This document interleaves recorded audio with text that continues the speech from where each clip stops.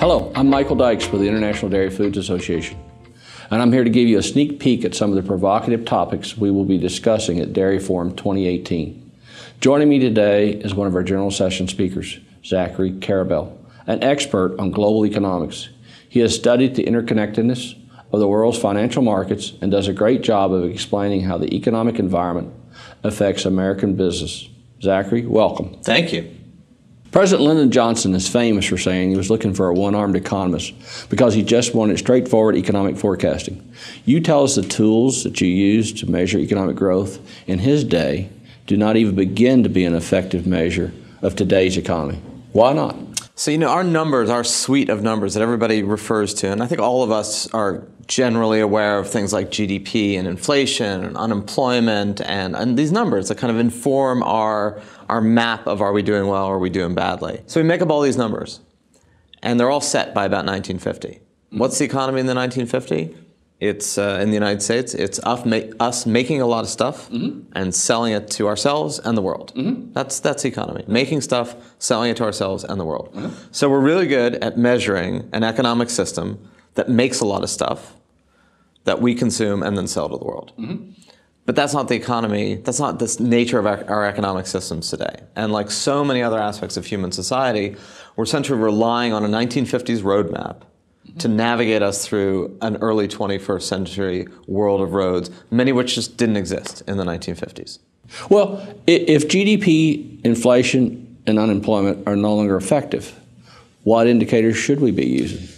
So, we're not going to come up with a new set of public indicators anytime soon. We, have got the lattice that we've got, and we're stuck with it. And I think that's going to be true for a long while. But if you're running a company, if you're in a business, if you're in the dairy business, the amount of information whether you're a farmer, whether you run a local collective, or whether you're CEO of a major international, the amount of data that you can assemble at your fingertips to try to figure out prices, trends, where your customers, what do they need, that you can get all of that at your fingertips more rapidly, or you can get your staff to get it more than you ever could before. That's interesting because we have so much information today.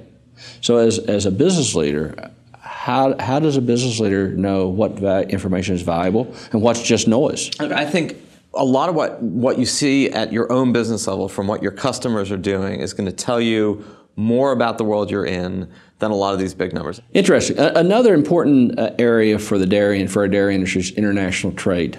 We live in the most incredible expansion of, of human consumption still than at any point in human history. And, and we're, we're in the middle of it, we're not at the end of it middle class is still growing massively globally, even if it's stagnant in the United States and Western Europe.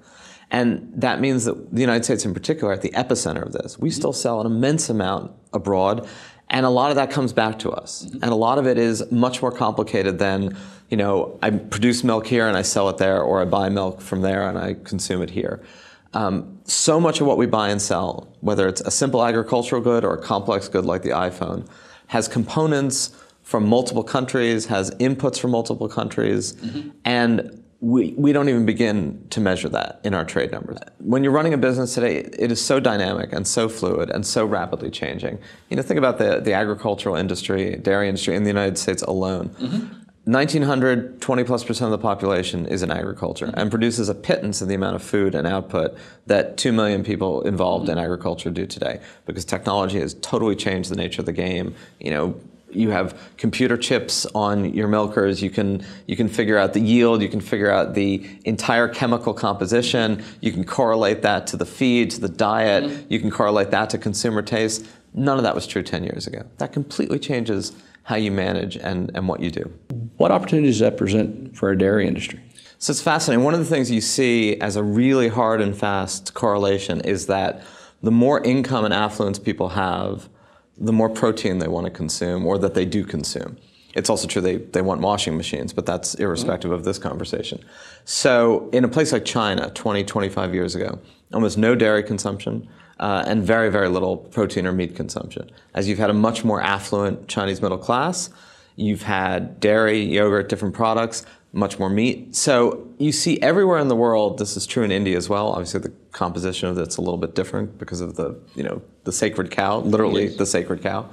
But you do have a, an unequivocal trend that as people have more money to spend, mm-hmm. their dietary desires mm-hmm. shift, and they shift in the direction of higher protein content, uh, higher animal protein content. I mean, mm-hmm. you know, we may eventually get to a more vegetarian world, but right now, what you have is, is a desire for more animal proteins, and that changes diets and it changes industries. And China's a really illuminating path. I mean, this is a culture that really was not at all focused on dairy, mm-hmm. uh, and you've just had in- incredible, incredible growth there. And, and, you would you see similar trends in every other country that's ex- experiencing that affluence, and that is as close to a de facto market for this industry as you can find.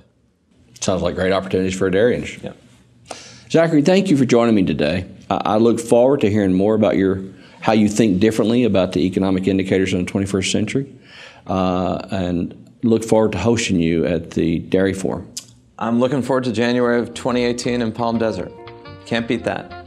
I urge you to attend the Dairy Forum in January so you are a part of the discussion about how our industry will shape the future. I look forward to seeing you in Palm Desert in January.